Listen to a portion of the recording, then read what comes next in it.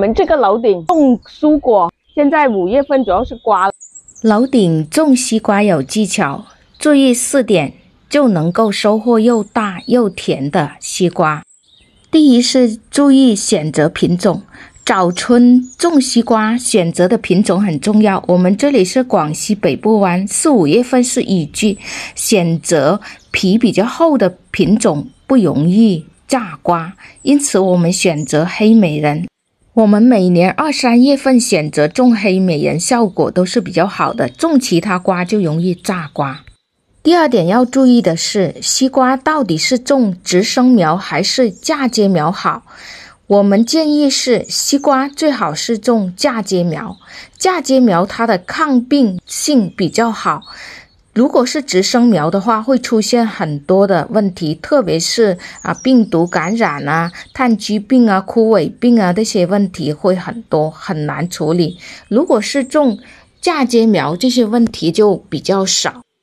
看在三月中旬的时候，小虫移栽的这个西瓜苗就是黑美人的嫁接苗，把它套种在生菜地里边。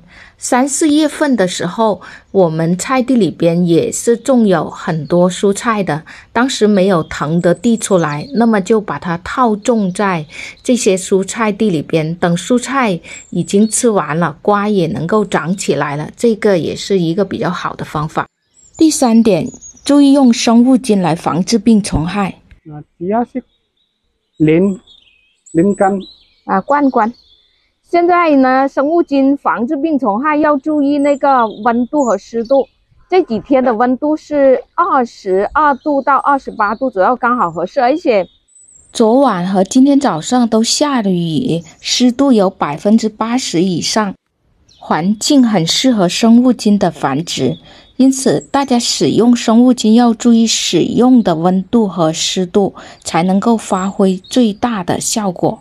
用到的生物金和使用方法是：哈茨木霉菌十克左右的哈茨木霉菌加入一桶水，大概三十斤左右，枯草芽孢杆菌，再加入十克的枯草芽孢杆菌，矿盐黄腐酸钾，最后加入十五克的矿盐黄腐酸钾，作为哈茨木霉菌和枯草芽孢杆菌的营养。这两种生物菌加上矿盐黄腐酸钾的套餐，在西瓜的幼苗期和开花结果期各用两到三次，就能很好的防治西瓜的病害，而且能够壮根壮苗。第四个方面就是要注意西瓜的肥水管理。我们楼顶是用有机肥来种植的，西瓜也不例外。现在加入的是发酵好的。咖啡加异常肥和发酵好的羊粪和鸡粪有机肥，还加入了草木灰作为钾肥。我们是不用化肥种植的，全部是有机肥种植。平时也是淋有机肥水，你这个养龟肥水。另外要提醒的是，成熟期的时候下暴雨，最好能够拉一下雨棚遮雨。啊，这个西瓜这段时间经常下那个暴雨，现在我们给这个西瓜棚盖一个雨布塑料膜，因为现在我们又种第二批的西瓜，它也有包边的，有绳子，有洞可以扎得到。不锈钢的链式链条，我们作为瓜棚拉防雨布啊，这种也容易拉，所以这个链式链条拉在上方拉瓜棚架还是挺好的，防雨棚啊。